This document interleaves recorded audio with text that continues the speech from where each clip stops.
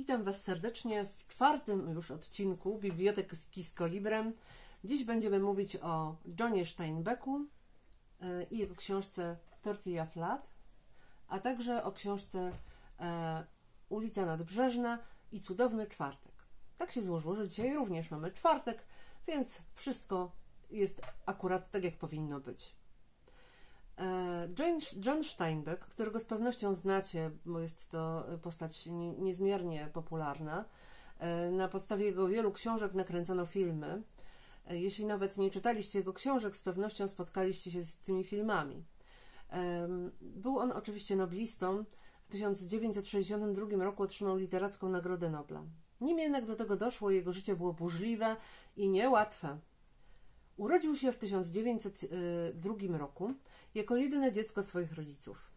Pomimo, że rodzinna sytuacja finansowa nie była szczególnie dobra, jego rodzice cenili sobie wiedzę i wysłali go na Uniwersytet Stanford, na którym dość długo studiował.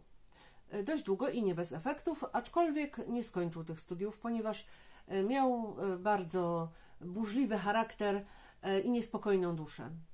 I życie samo w sobie bardzo go pociągało, a wiedza być może nieco nużyła. Tak czy owak Steinbeck rzucił studia e, i rozpoczął swoją karierę robotnika najemnego. Tak jak wielu jego bohaterów, e, bohaterów jego książek, e, najmował się do najróżniejszych prac. Pracował i w porcie, i pracował przy pracach rolnych, pracował jako malarz. Dawał się wynająć Byle tylko była jakaś ciekawa praca i dobry zarobek. Z tym dobrym zarobkiem to różnie bywało.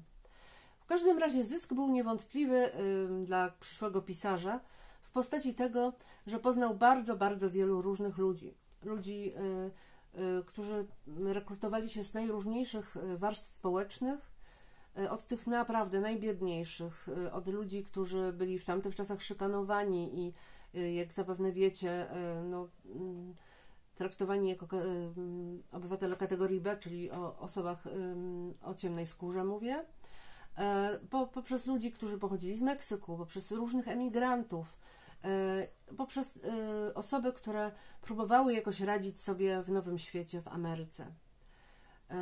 A nie były to łatwe czasy, bo były to czasy zaraz po wielkim kryzysie w Stanach Zjednoczonych, kiedy naprawdę bardzo wiele osób e, straciło swoje majątki e, i musiało zaczynać wszystko od zera. Steinbeck pracował, jak wspomniałam, w różnorakim towarzystwie i próbował coś pisać. Próbował pisać, aczkolwiek początki jego twórczości no, nie były jakby mm, szczególnie udane, albo można powiedzieć, że nie były doceniane. Tak czy owak, dopiero jego czwarta książka, zatytułowana Tortilla Flat, E, zyskała popularność i przyniosła mu sławę. Opublikował ją w 1935 roku. O tej książce opowiem Wam coś więcej. To zupełnie niezwykła historia. Napisana trochę w stylu Cola Brenion, e, w bardzo prostym e, języku prostych ludzi. Bohaterami są włóczędzy, nazwijmy to. Włóczędzy i menele, można by powiedzieć, czyli tacy ludzie, którzy nie lubią się napracować, a lubią się dobrze zabawić. Najbardziej cenią sobie wino i towarzystwo miłych kobiet. Bo jeśli chodzi o urodę, to jak pisał Steinbeck w Tortilla Flat o pewnej niewieście, przy pewnym świetle mogła się wydawać nawet ładna. Nie mówcie takich komplementów nigdy kobietom, bo możecie pożałować.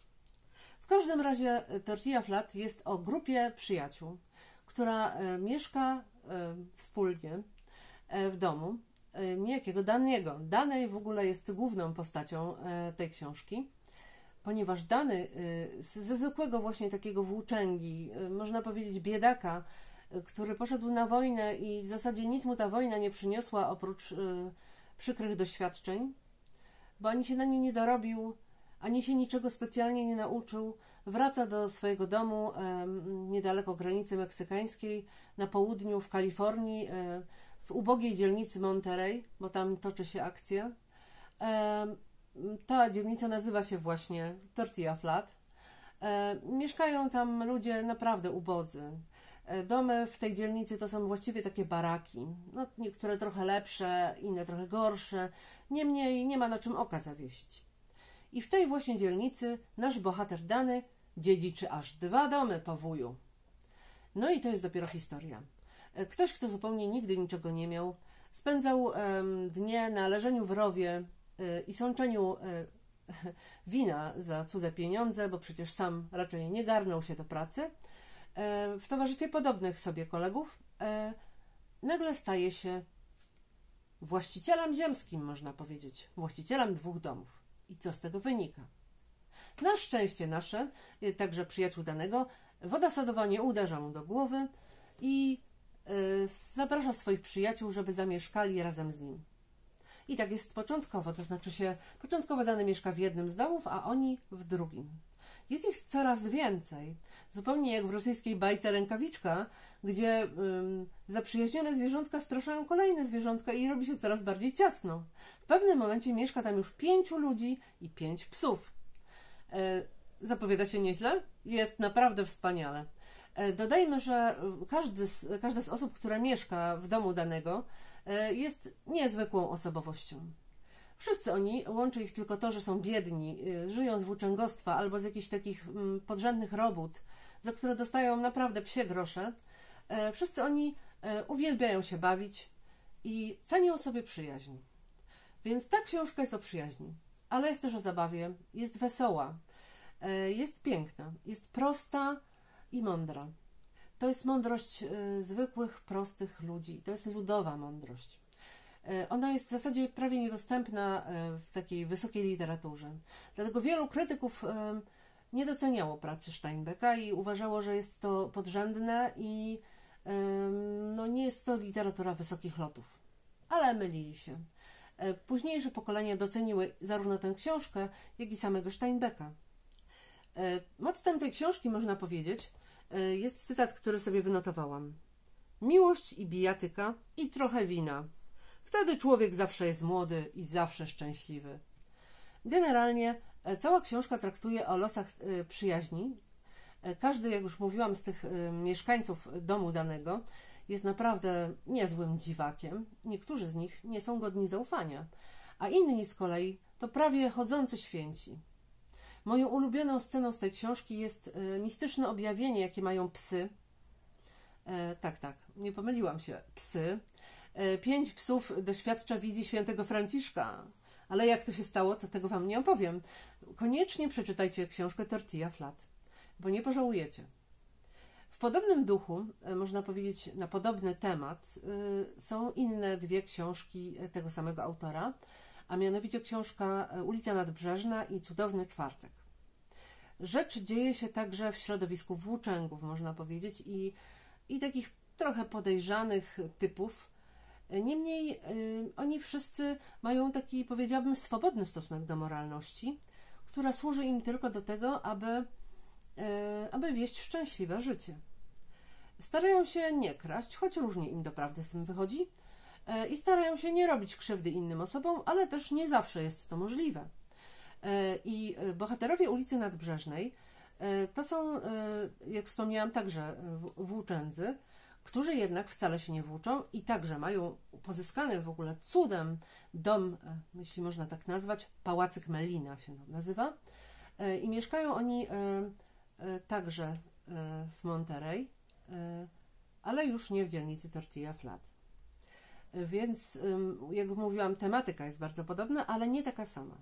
Książka Cudowny Czwartek i Ulica Nadbrzeżna, która, która jest jakby one są e, jedna po drugiej, czyli ulica Nadbrzeżna była najpierw, a potem napisał e, Steinbeck e, Cudowny Czwartek. Cudowny Czwartek jest kontynuacją ulicy Nadbrzeżnej. I wszyscy bohaterowie są ci sami. Oczywiście pojawiają się także nowi. W każdym razie te dwie książki zostały napisane w latach 60. i prawdę mówiąc, wielu krytyków uważało, że mm, obie są napisane nędznie i i są dowodem na to, że e, Steinbeck już po mm, Noblu stracił talent. Ja się zupełnie nie zgadzam z tym. E, I uważam, że obie mają niesamowity polot. Są napisane dowcipnie. E, pokazują jakby urodę tego środowiska. Urodę zupełnie mi nieznaną. główny bohater, jeśli można tak powiedzieć, bo jest tam ich kilku. Jednym z głównych bohaterów jest doktor, mm, którego pierwowzorem był prawdziwy przyjaciel Johnego Steinbecka, Edward Rickett. Ten, ten doktor nie jest bynajmniej lekarzem, jest biologiem i prowadzi niewielkie laboratorium zajmujące się stworzeniami morskimi.